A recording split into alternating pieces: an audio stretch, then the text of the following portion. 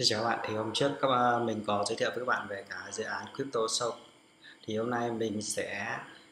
cùng ờ, các bạn ờ, tìm hiểu về cái phân phối token cũng như là cái lộ trình phát triển của cái dự án này.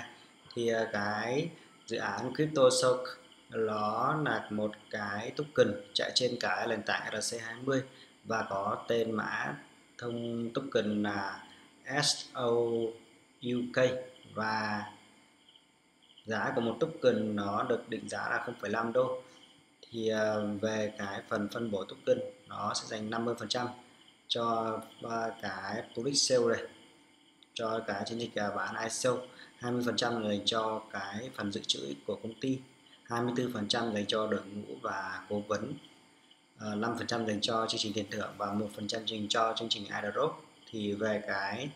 phần à, phân bổ quỹ thì à, 40% nó sẽ dành cho cả chiến dịch pháp lý và cấp phép thì 30% 25% dành cho phát triển sản phẩm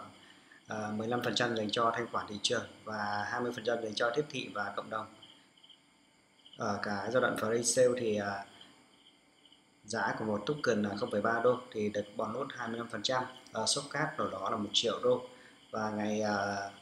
bắt đầu bán là ngày 7 tháng 8 năm 2018 và sẽ kết thúc sau mùng 8 tháng 8 năm 2018 tức là khoảng 30 ngày. Thì về cái bán chính trong uh,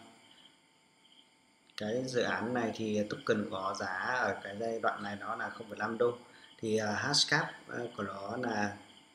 11 triệu đô này. Và ngày bắt đầu bán thì là 24 tháng 9 năm 2018 và kết thúc sau 30 ngày. Thì về cái lộ trình phát triển của nó thì quý 2 năm 2018 thì nó bắt đầu ra cái bản à, beta của cả Exchanger và liên doanh à, với các đối tác Kuwait và quý 3 năm 2018 thì nó bắt đầu bán free à, ICO và bán chính ICO này. Và bắt đầu uh, trực tiếp về cái sàn uh, Exchanger SV và danh sách uh, trao đổi các thẻ tốc sâu trên cái Exchanger và quý 4 năm 2018 thì cái Manta Setting uh, ờ, phát hành được uh, thanh khoản độc quyền. Quý 1 năm 2019 thì nó cấp phép cho ADGM uh,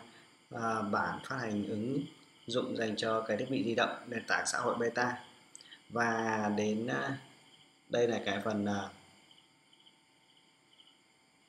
giảm giá truy cập và khuyến mại đặc biệt thì nó thanh toán cho các danh sách có token này và chương trình mua lại uh,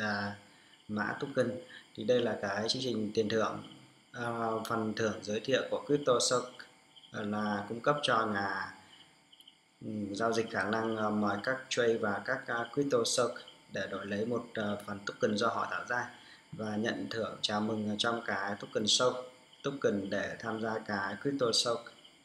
thì vừa rồi là cái thông tin về cái uh, phân bổ token và cũng như là cái lộ trình phát triển của cả dự án uh, crypto show thì các bạn có thể truy cập vào cái trang cryptosearch.io để tìm hiểu thông tin về dự án này. À, và đăng ký mua cái ICO này. Cái video của mình đến đây là kết thúc. Xin chào và hẹn gặp lại các bạn trong những video